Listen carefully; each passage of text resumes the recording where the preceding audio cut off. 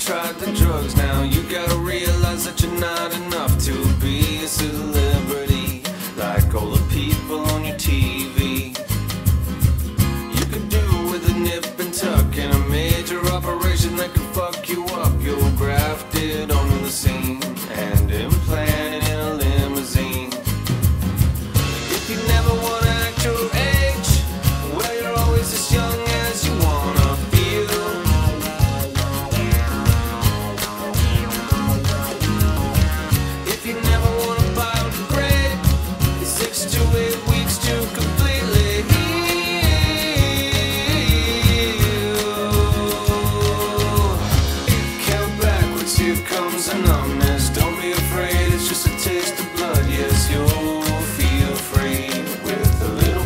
plastic surgery.